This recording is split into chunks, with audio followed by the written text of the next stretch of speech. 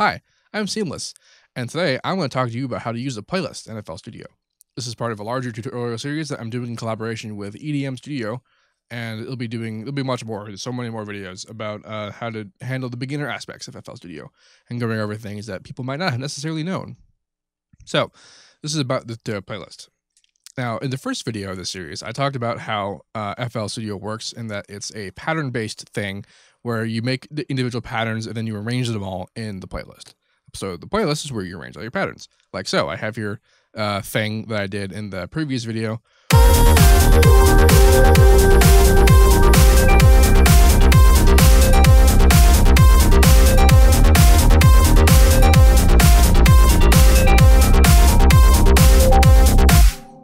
With some added embellishments to sort of illustrate what else you can put in the playlist. So on, on, on top of having patterns, you also put in your automation and audio clips that you have. Uh, so let's talk about actually doing that. So in um in the first in the first video in the series, I made a couple of I made a couple of simple patterns, and then I put them in the playlist. And the way that this works is that you have your writing tools, which are the, the pencil and the brush. In the pencil, you put one put um that's the brush. Indeed, the pencil you put one down, and you drag it around. That's how that works. And then the brush is you put one down and you paint it, and then you get a whole bunch that are all selected together. So that when you are done painting it, you can grab it and move it around as one big unit. So that can be handy. Right clicking will delete whatever you put down, provided you're using these particular tools. So what determines what you put down, uh, you know, is what your last, what you last clicked on. So if I click on this pattern, I'll put that there. If I click on this pattern, put it there, so on and so forth. Automation clip, yep. Audio clip, yep. So how do you, how do you, what's, what, like, what's the first one you put down? How do you know which one's the first one? Well, if I click on the pattern indicator up here, like if I select pattern four, and put it down. Suddenly that's pattern four. So that's kind of what that how that works. You you can go on, you, you make your pattern, you write the stuff down, and you go into playlist, and I click on that for safety because sometimes it's not going to be there, and then boom, you got your pattern. And then um, my particular my personal workflow that I work with is that I tell I generally use the playlist as kind of a giant palette um, I'll do lots of experiments and lots of work where I'll just have just a huge mess of stuff I'm off on one side, and then I'll have the actual song on the other side, and then I'll I'll be messing with crap, and then I'm like, okay, so this this whole this whole thing is this huge mess. This whole thing is where I want to go in here, and then I'll put it there, and then copy it, and I'll be you know what the song is. And um, if you don't want to do that though, you can put down the thing, go up here, and you can use select source pattern, it'll show you different patterns. You can also do that for uh, automation clips, select source channel. There's only two going on here. And same thing with audio clips, although I believe there's only one. Ah, there's two. Right. So that's how you sort of that's how you pick your weapons, so to speak, and you place them as any way you will. Now, any way you will is kind of interesting because you can really do whatever you can put them wherever. Like there are tracks, as you can see, and at first look, you might be thinking, why the hell are there tracks? Just by the way this is organized, because really you could put things wherever you damn well please. And for people coming from other DAWs, digital digital DGO digital audio workstations, um, you're they're probably they're just losing their losing their minds because they don't know that what they're doing, what they put down, is has any semblance on where it goes out. They just don't. It's confusing. And I understand that. Also, people who come from older versions of FL, but are used to the pattern blocks, which are only ever one pattern per block, and that was actually how you they listed patterns. And that's if you're new to FL, you have no idea what that means. That's not a problem. It's probably better that you don't because it'll just confuse you. And I feel bad for people who really, really, really, really liked the pattern blocks because that's not what the devs are doing anymore. I used to be one of them. I've been using FL since version 4, so I had to deal with that, and I did. However, you can make it like that. Um, it's not like that by default, however, but you, you can make it like that if you know how. And how you do this is you right click on the track and then you go straight to lock to content. And what this will do is if I if I do it to these guys, this is the lock will show up. And what this will do is it means that while the others that aren't locked to content, I can put wherever I want anywhere. If I click on here without changing what's in the brush, like I'm not clicking on something and then bringing it up there, it will only put down what's on these tracks. So these tracks are now only these patterns. And um, not only are they, but it's a, it's a, there's an interesting distinction. They're only that that source, which is to say, um, if I were to lock this kind of content, loading, okay, it will um, it's locking it to this particular source, which is to say this clip. But you can also you can still edit the clips, and then you can make different clips that are like di- differently organized from the original and put them wherever you want, and that'll still fly. Uh, and that's because it's still the same source. There's there's three as you, there's now three variations of this clip in this track, but it's still the same. It's from the same clip, and so you can you can do stuff like that. So that's useful for like if I want to make additional edits, like I want to do some kind of crazier automation for something.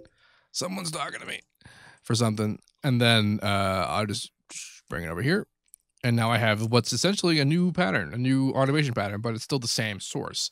And so it's still so this whole track that I've set here ends up being just the track devoted to this this automation parameter. And so that I I find out that I that you could probably make a good workflow out of that, even if I don't necessarily ever do that. John is messaging messaging me. I shall talk to John in a second. Um. Hmm, so yes, that's how that's how you would make uh, the playlist work more for you in the track format if that's what you're used to. I am personally a firm believer in everything everywhere because I'm I mean I'm used to it. I've used like I said FL since version 4, so I am super familiar with uh how things are supposed to go and how they're routed so that I'm not I'm not losing my mind over the tracks not being tracks. Although I, I too was very kind of surprised that they included tracks because I was kind of like that's not what they are though. They're not tracks. But this is this is this is FL's um attempt at making FL Image Line's attempt at making FL more approachable from other DAWs because they understand that their interface is very, very different from how other DAWs work, which is a good thing in terms of being unique and special little snowflake, but also just kind of weird when other people are trying to do something and they can't because it's just not used to the UI. And the reverse is kind of true from for DAWs. Like I, I can't use other DAWs. I can't. I'm just bad at it. So that's what that is. So you um other options in here include various size options. There's a whole performance setting thing, which is all about performance mode in FL, which I will do a video about, just not now. Um, your various tools, like I, I talked about, um, the brush and the uh, pencil. Delete tool is is if for some reason you don't want to delete things by right clicking and you want to do it very manually, you can do that. Mute tool, um, what this does is it will mute whatever you draw on it, and then if you you can also unmute it, kind of deal like that mute and unmute, but that's not, that's not right clicking clicking. That's that's clicking and then clicking again. Right clicking will delete things, so keep that in mind. Um, however, you can do that without actually accessing that tool. If you have a, the pencil or the brush open and you hit the right Alt key, that becomes the mute tool now. So that's that can be particularly handy if that's what you want to do. Um, there are also sh- uh, keyboard shortcuts to these things. They're they're listed up here, and this bar up here, the, this is the information bar and then this will tell you what the um, the hotkey is. If you have uh, typing piano keyboard engaged, and what this will do is uh, if I have like a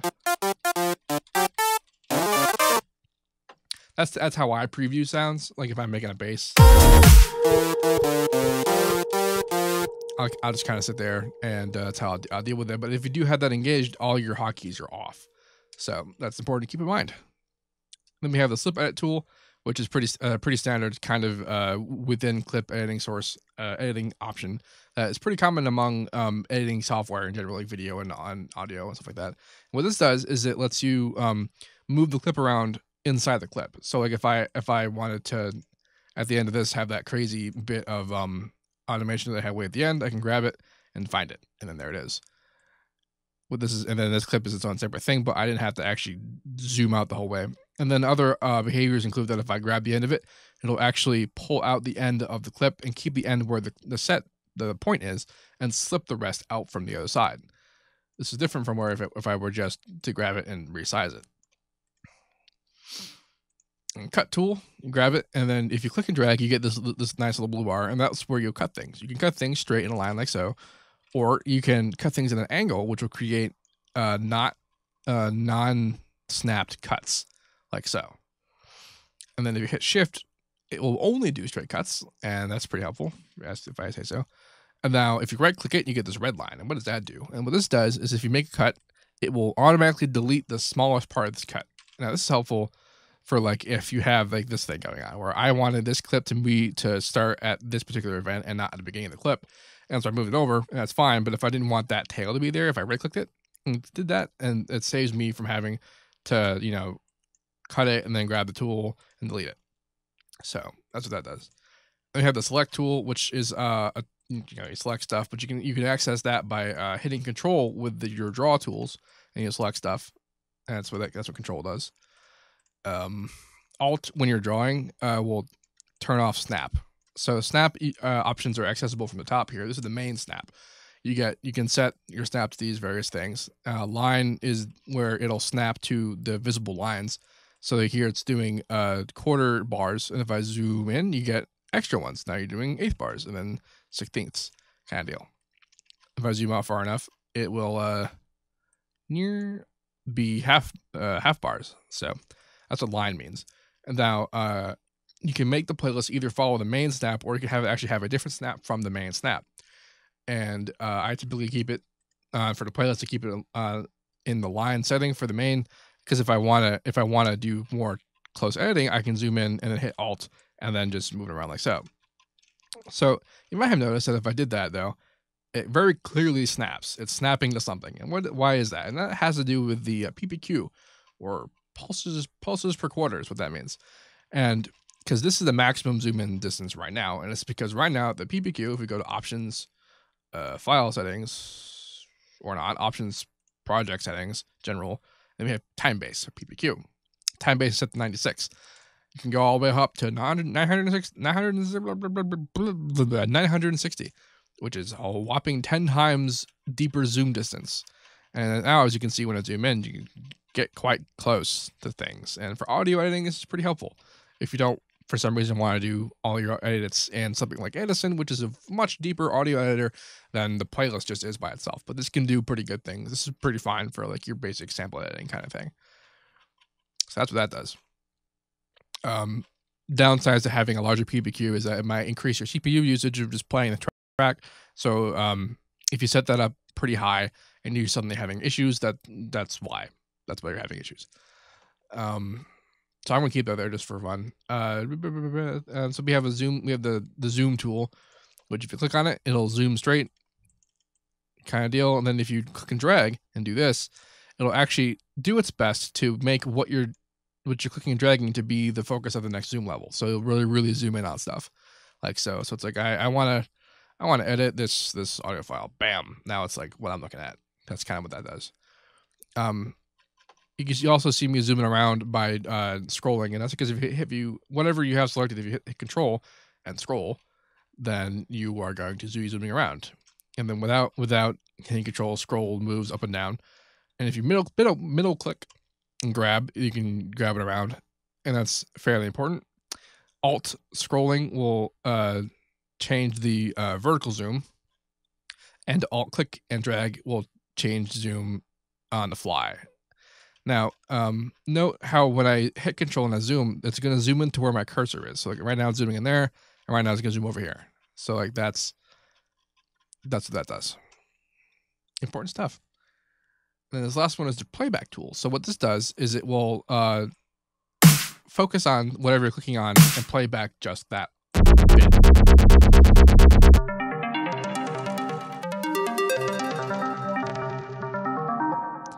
That's what that does. It's kind of useful. It's sort of doing the job of um, muting everything except for that one thing you want to play, which you can do manually. Or you can do it like I just did with the thing. Handy stuff.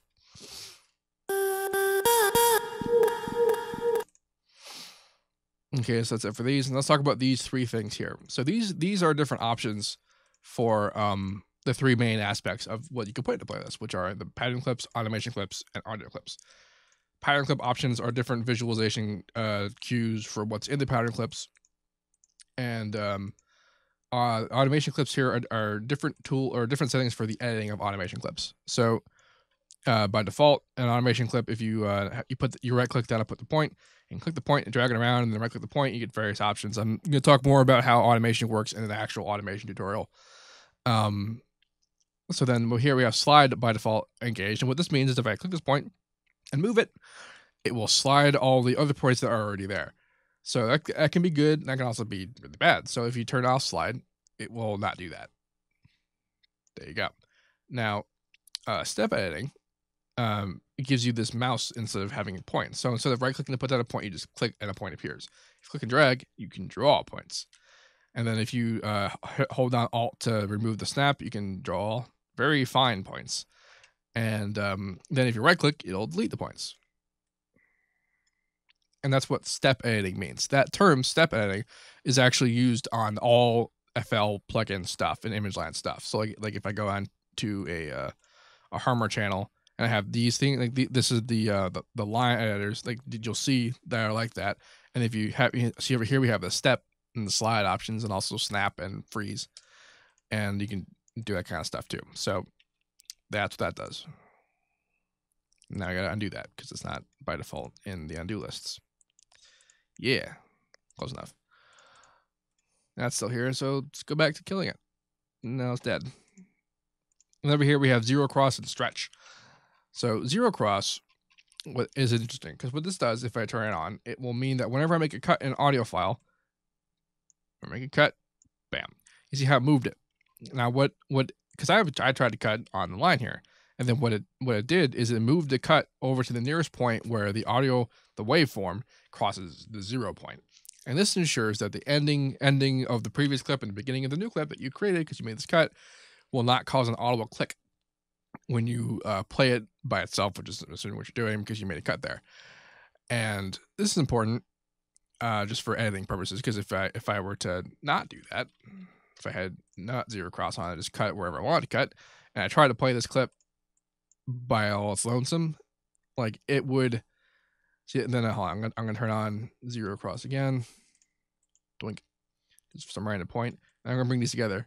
And see that difference right there? That difference will create an audible click that it will be very out of place for something like a, a smooth female vocal, but this file is.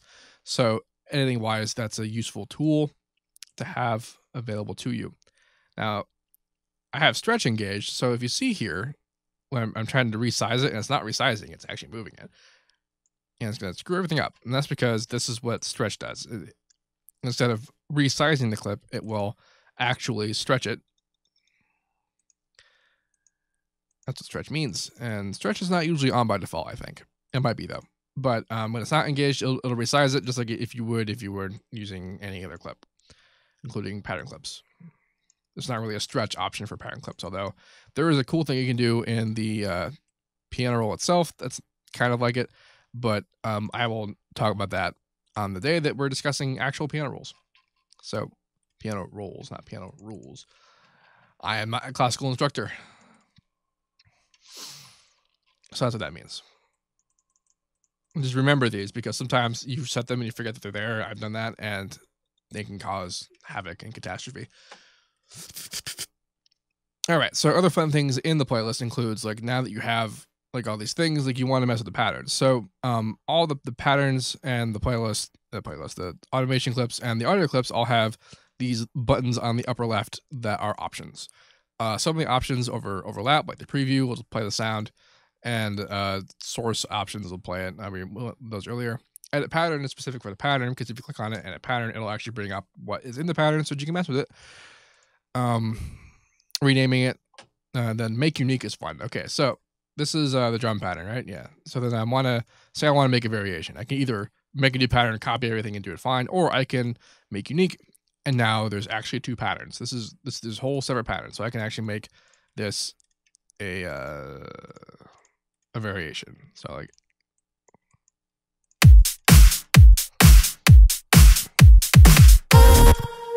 That's what that's for. Uh, a variation of that option also exists for uh, the automation clips and also for audio clips. Now, um, also a fun thing you can do with um, Make Unique is that I, if I want to, I can make the, the pattern just that length. However, note that I also made this in the sequencer. So the fact that I did that means that if I make it unique and it's a different pattern, it will actually move everything into the, the piano roll for that section. So still it's still the same it's still the same pattern. It's just in the piano roll now, which can sometimes be kind of weird. Um, so another example of this would be like if I wanted uh, to make an edit of just this half. Now, now this is only that part of the pattern. It's not gonna it's not gonna show the uh, two the ending tonic part of the original pattern it's just to be this bit.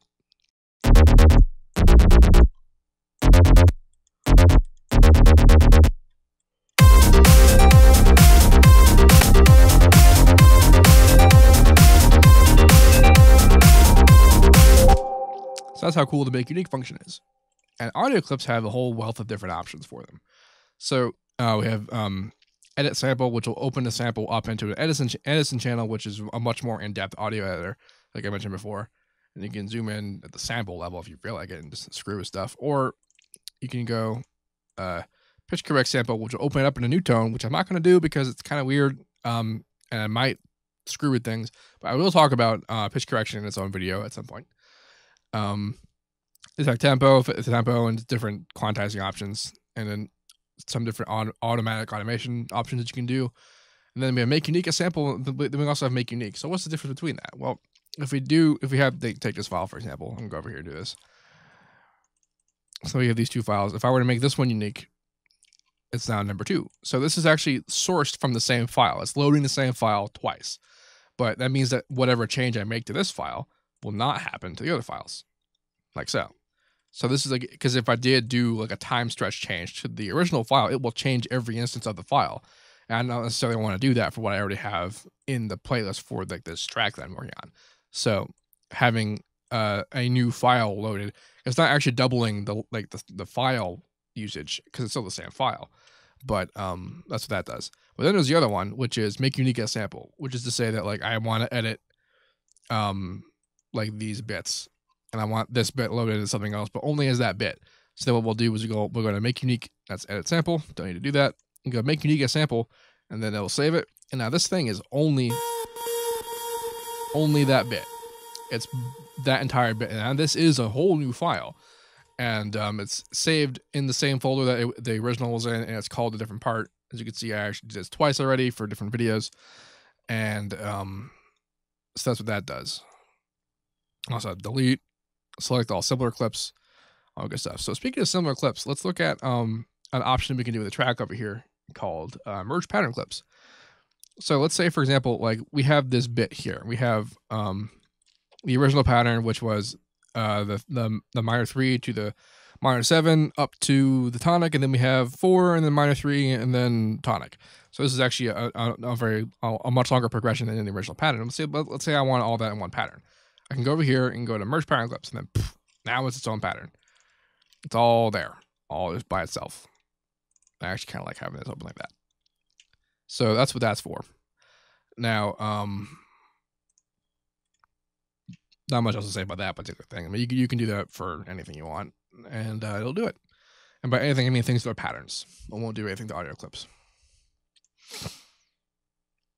There's also fun uh, chopping options you get. I think that's just for audio clips. Yeah. So like these are basically just auto chops for stutters and stuff. And they'll do uh th- these slicing options are actually uh, reminiscent of what happens when you use the slicer channels or the Slicex channel. And um, I'll talk about those as individual plugins in later videos. So we'll, we'll worry about that later. I believe I've gotten everything that needs you need to like get in order to make this work. Like a lot of the stuff that we talked about are kind of advanced things, but they're they're things that people tend to use kind of on accident that sort of screws things up. Um, we do have some other options in the uh, drop down menu here. You have quantized start times, which is cool. It can be useful for having audio clips and stuff like that. You could change all kinds of colors and stuff on things, and also edit like uh, what like visually all of huge huge range of things, which don't I don't know what that was, which don't necessarily matter uh, in terms of like audio quality, whatever, but just for your own workflow, whatever you like looking at more can work better. And you have the snap the snap option because you can get that. Uh, different um, select options. Select all, select by selected source, invert selection kind of deal. Select around time selection. It's kind of and then a magic lasso option, which is cool. And groups and whatever's kind of deal. So what's interesting is that um, Now they're a group. Check that out. It's kind of like a permanent selection, is what that does. Not a tool I tend to use very often myself, but you might find use for it. Mm-hmm. Different zoom levels. And as you can see, these all have um, different hotkeys. That's what they're called. I use words. And then time markers. Okay, so um, this is actually kind of important. So we can we can add different markers, and uh, we can add one every every so much whatever. And then when you add a marker, uh, marker, this shows up here. And now I've actually set the uh, the visual color change to be set to marker. That's why it's doing that. And that's a performance mode. Um, kind of deal. So if I went to time segments, four bars, that's kind of what I wanted to see. The marker doesn't really do much. So that's what the marker does. However, there's a different kind of time marker, and this is the loop. The play song loop. There's make loop, which is not necessary, and then play song loop. And that's what this does. So what this thing does is that when it when you reach the end of your song, get rid of this. It'll it'll loop automatically to this point, regardless of where you have um, your set time. So like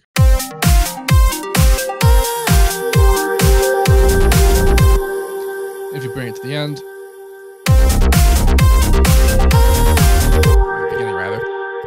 it will repeat there. But if you bring it to a point that's after the song, after the actual actual content,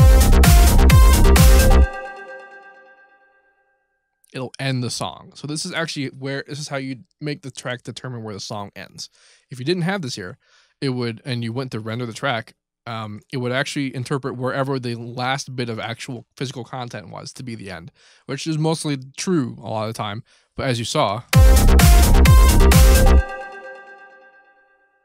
there was a, an effect tail at the end there. There's some delay and reverb going on that made the song, the actual sound of the song, and uh, continue past the end of the song, and that can sometimes screw up the uh, rendering process if it just cuts off there. It sounds bad. So and there's options to deal with that. But um, the easiest one is just to make sure that the song is as long as it needs to be by putting this end here. Um, in saying that, it reminded me about something that I wanted to say about something that was kind of important. Oh yeah, stop the set set time. So um, you notice how when I put the indicator someplace and I hit play, like if I put it here, that little kind of like a ghost bar, like a ghost arrow shows up. And what that is is it's determining that when I hit when I hit the space bar again, which stops it, it will return to that position that you hit. And see if I hit the stops button, it will also do that. And um, this is an option that you do turn on, turn off by actually right clicking the stop button. Well, remember seek time. If you have that turned off, every time you stop it, it will go back to the beginning of the track. Actually, you saw me point this way, and that's because that's where it is in my view, but I just realized that it's probably actually this way for you guys. I'll have to check that later. So that's pretty important. This is actually a relatively new feature that they included that I took to right away because it's great. Uh, and again, okay, so looping. So um, the reason why I like it is because this means that if I'm editing something here, I can just put it there and then edit, edit.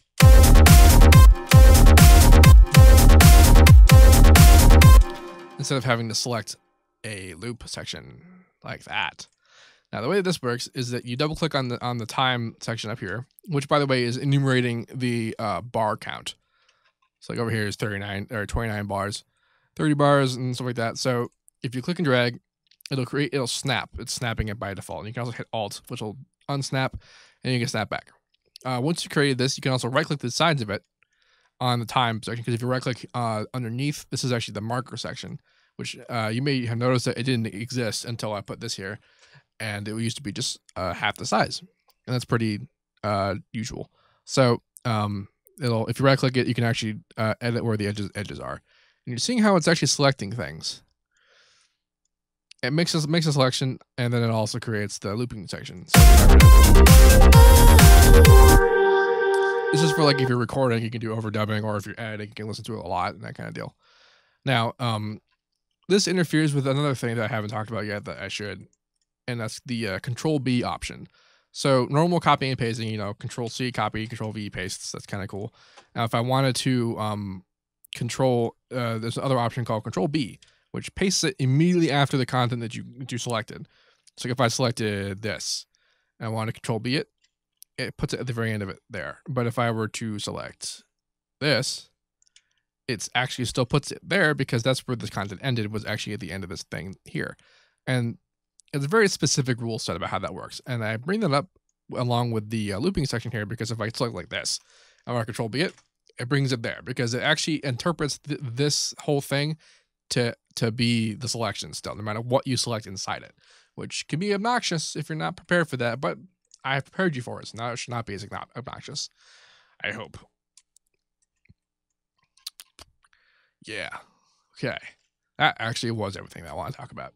So, if you have any questions about anything that I have talked about, or perhaps that I've left out, let me know, and I will answer your question to the best of my ability. Um, and as usual, have a nice day.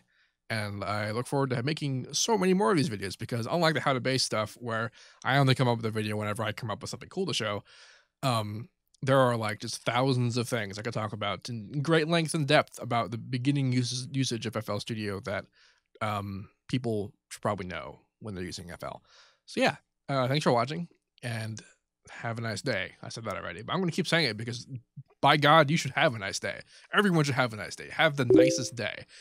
John is still talking to me. That is John. I will talk to John now. Have a nice day.